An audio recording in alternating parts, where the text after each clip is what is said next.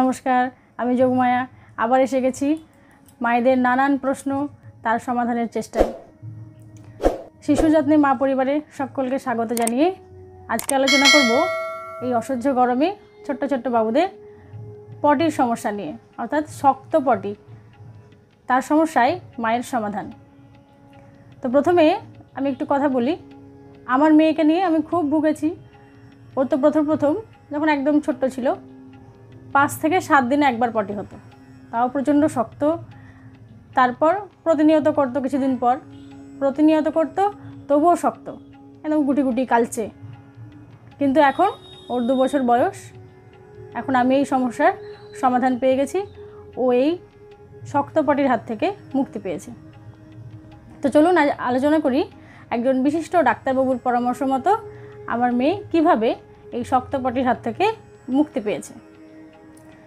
প্রথমে আমি যেটা বলব সেটা হলো জলের কথা। জল কীভাবে খাওয়াবেন সেটা ফুটিয়ে নাকি সে ঠান্ডা করে সেটা আমি আগের ভিডিওতে বলেছি। তো বাচ্চাকে পর্যাপ্ত পরিমাণ জল খাওয়ান।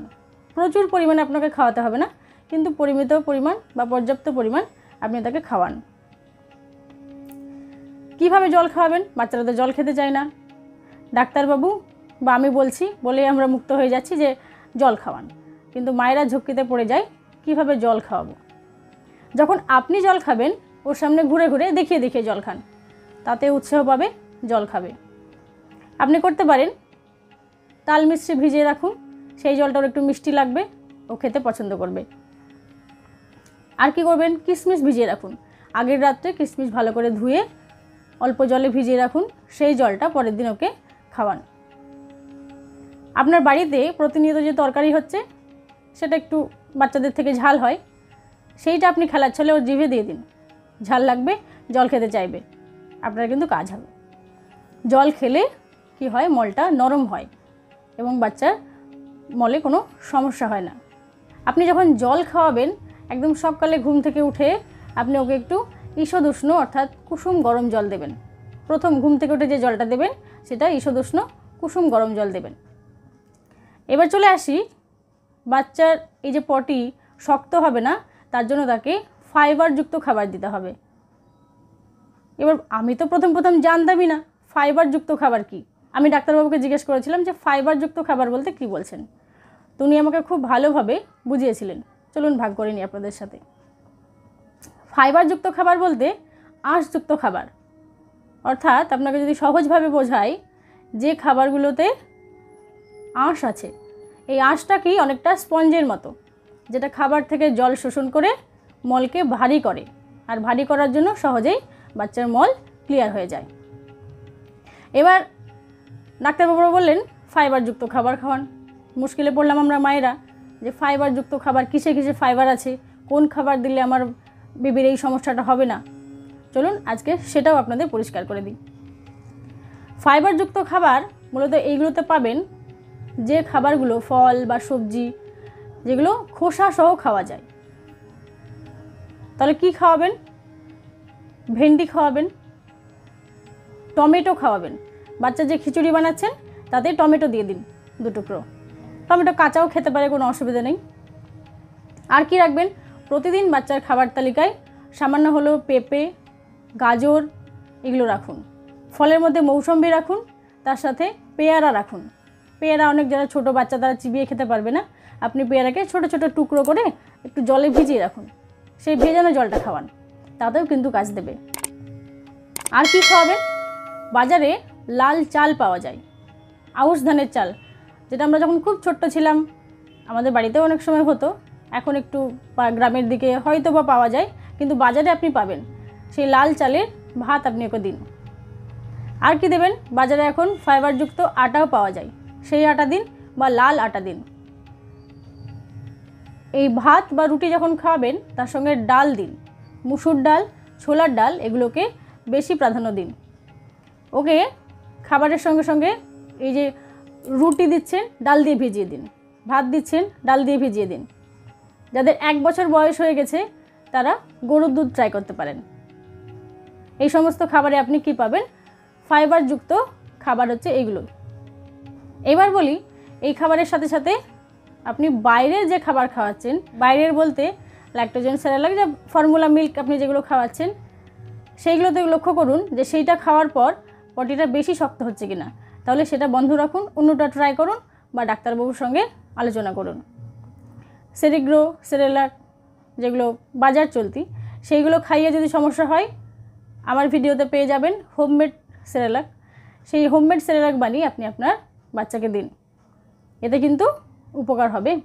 হোমমেড সেরেলাকের পাশাপাশি আপনি সাবু দিন, শশা রাখুন খাবার তালিকায়। এগুলো খেলে ওর কিন্তু মলে অনেক সুবিধা হবে।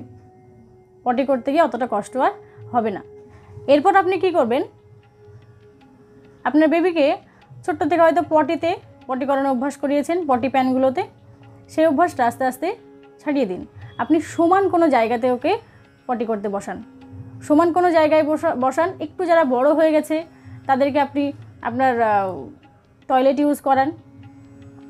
অর্থাৎ যে প্যানগুলো আপনার বাড়িতে রয়েছে, সেগুলো ব্যবহার করান। সমান জায়গায় পটি করলে কি হয়? পেটের উপর চাপ পড়ে এবং সহজেই পটি ক্লিয়ার হয়ে যায়। এতে তারও খুব সুবিধা হবে।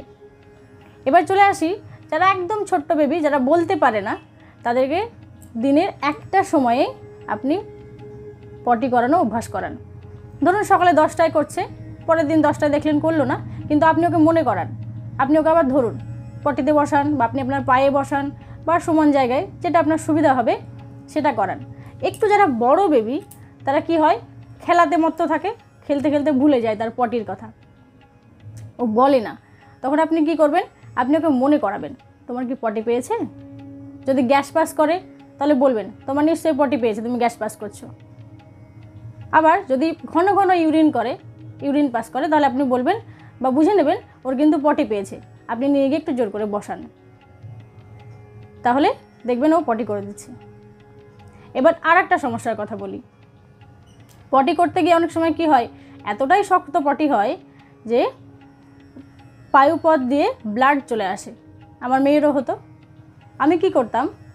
ঘরে বোরোলিন, পায়ুপথে বোরোলিন বাইরে।